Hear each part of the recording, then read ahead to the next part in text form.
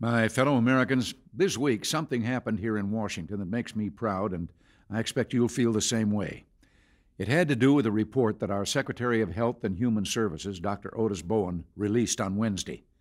Now, most of the time, government reports, with all their statistics and dry language, are not particularly interesting.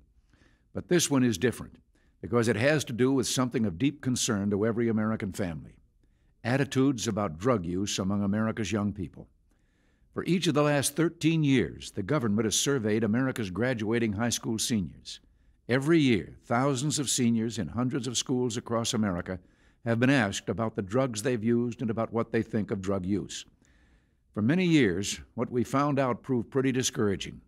In the 70s, students told of ever more frequent drug use. Many of them said that some drug use, even drugs like cocaine, was okay, nothing to be afraid about. We had a drug epidemic, and too often our national leaders in government and the media didn't seem to care. Drug use, some said, was a victimless crime. No one got hurt, no one suffered, so what was the big deal? And I've often thought that this message, that drugs weren't all that bad, was part of a larger message. The same people who winked at us about drugs also told us that America's future was bleak. Too often they said that the traditional values of family and community were old fashioned and out of date. It was as if they had lost faith in the future and wanted the rest of us to lose it too. But in communities around America, families, teachers, and young people themselves were finding out that those who said drug use was no big deal, whether they knew it or not, were telling a big lie and a dangerous one.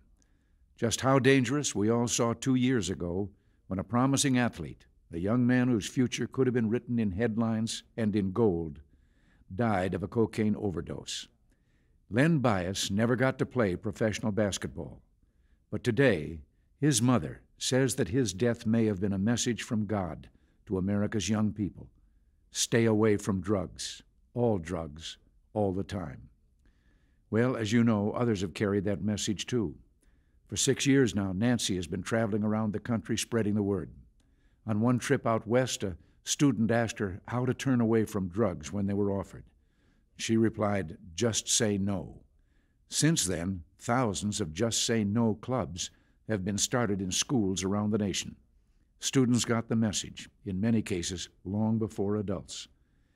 That brings me back to the report I was telling you about. Maybe you've heard the best news in it already. Last year, for the first time since the surveying began, a substantially smaller proportion of high school seniors, one third smaller, acknowledged current use of cocaine than acknowledged it the year before. But that's not all. Students are no longer buying the old line that experimenting with cocaine and other illegal drugs is safe. For many years, only about a third of them said that using cocaine once or twice was dangerous. Last year, almost half did, and nearly 90 percent said regular use was dangerous. And cocaine use is no longer the in thing. In fact, almost all the seniors surveyed, 97%, disapproved of regular cocaine use. And whether they thought one or two experiments dangerous or not, 87% disapproved of even trying cocaine. Use of marijuana and amphetamines is also dropping. More than 10% of the members of the class of 1978 said they used marijuana daily. In the class of 1987, it was only about 3%. Still too many, but much better than it was. And more than 70%, more than ever have before, say that regular marijuana use is harmful. So the message is out, and America's young people have heard it. Drugs hurt, drugs kill, drug use is nothing to brag about stay away from drugs. A few minutes ago, I said, All this makes me proud.